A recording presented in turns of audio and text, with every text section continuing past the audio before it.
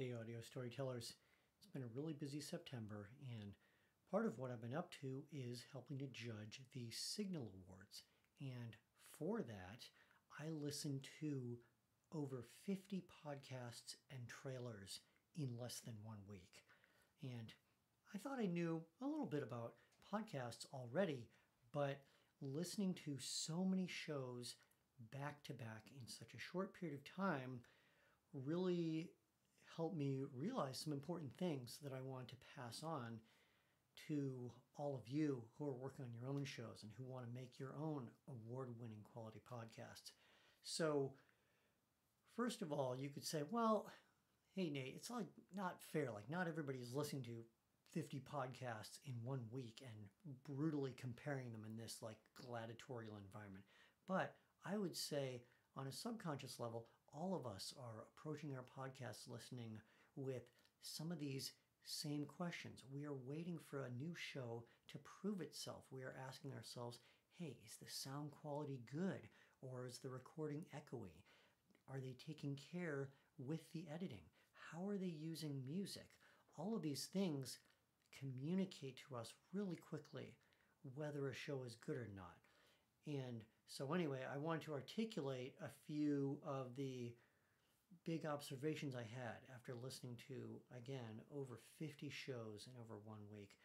Uh, number one, when a host is enjoying themselves, it always makes the listening experience more enjoyable because podcasting is such an intimate medium when you can hear the host smiling, maybe even having a chuckle it really deepens that connection. And so many of the podcast narrators I heard opted for, you know, kind of a neutral sort of journalistic tone. And that's fine, but life is too short for me to hear your casual interest project. I want to hear your passion project. So when you are recording your narration, give yourself permission to smile, have a little fun with it, and that'll come through. Um, observation number two there really is a show about everything. Um, I mean, there were, I heard historical fiction shows, a ton of true crime shows, a show where the co hosts were discussing the cultural impact of their favorite Oprah episodes, and God help us, a show where three guys are sitting around doing hour and a half plus reviews of every single movie on Disney Plus. So don't ever tell me I can't find a podcast about that thing I'm interested in because you can. But the next point, number three, is in such a vast ocean of podcasting options, only the best stuff really rises to the top. And so, again, after listening to over 50 shows in such a short period of time, there are just a short handful that stuck with me. One of those was There's a Poem in That where a guy writes poems based on listener voice memos and then details the creative process in the episode and then finishes by reading the poem live to the recipient. Um, that was a beautiful show. Uh, there's another one called Slumach's Gold, which was a historical true crime uh, kind of adventure series very tastefully narrated, effective sound design, really careful writing. That one stuck with me, scored it very high. Uh, the third one was Meditation Stories, which was a mix of meditation cues, peaceful ambient music, and really artfully written personal essays by notable writers. And uh, the fourth one was called The Slowdown, where um, a poet combines personal reflections. Um, the host is named Major Jackson, does a beautiful job, and then also reads a poem. Um, but that was that was the four I remembered out of the 50 without looking at my notes. So the quality really matters.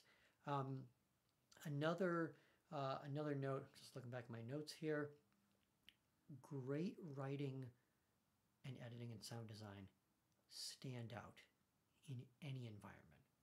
So I listen to these shows, you know, here in our home office, um, on a like a proper stereo with my real speakers. I listened with my laptop and my you know, my nice headphones. I listened in our minivan. I listened in our little car. I listened walking down the street with earbuds. And obviously, the experience is more immersive when you are in a good listening environment and you pick up on the subtleties. But one of those top shows that I scored the highest was one of the ones that I listened to walking down a busy street running an errand on my earbuds because that difference still comes through. So again, this is a reminder that that care that you take in recording, in writing, in narrating, in editing, in sound design, people pick up on that. Um, the another um, big observation that I had after hearing a number of different interview shows was that average and sort of inexperienced interviewers start with kind of a boring question like, So, tell me a little bit about yourself, or So, how did you get into podcasting? And those just don't really get you anywhere. Most, most people are just not that articulate telling their whole autobiography off the cuff. But the really great interviewers do their homework, they look up the person's work, and then they ask a really pointed question like, hey, so and so, you just compared AI right now to spring break in Fort Lauderdale. Tell us what you mean by that. And of course, we're instantly drawn in. We're like, whoa, okay, what is that about? And you are also, you're instantly doing two things. You are getting the person to talk about their area of expertise, so they're more likely to give you a compelling and intriguing answer. And also, you're kind of creating a sense of conflict by immediately posing a provocative question. So, if you're doing an interview show, I highly recommend you start out that way. And you can always do a little intro chit chat with your interviewee when you're talking live, but then you just cut that part out. And then you start with a powerful question you immediately bring people in. Um, this is a little bit of a reiteration of a, of a previous point, but the care that you take in all the steps of creating a great podcast again, script writing, script editing, recording, uh, narration, audio editing, sound design, all that stuff, that shows a respect for your listeners' time. And I found some of the celebrity podcasts were the opposite extreme, where they're just kind of counting on us to listen because they're famous, and it's just a whole bunch of like rambling and throat clearing and miscellaneous chit chat and shooting the breeze. And I found myself thinking, hey, like, hey, just because you're famous, like, I got a life to live. Like, tell me something that matters. So, again, quality comes through and it conveys a respect to your listeners who have hundreds of thousands of other choices. Um, final, final note uh, all of these top shows that I scored the highest out of these 50 were created by teams. You know, some of them were people from a writing background who brought in an audio editor, a sound designer, a producer. Some of them were, you know, uh, teams of half a dozen folks. Um, one of them was from like a, a medium sized studio, but you don't have to be a big studio to make a great show.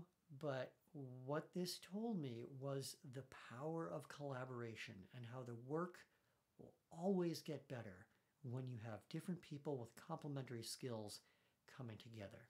So, if you are a solo podcaster right now, even just find a feedback partner, read your rough episodes uh, as a voice memo on your phone, email that to a friend, or use Voxer, record a rough cut, send it to a friend or a trusted feedback partner, and the work will get better.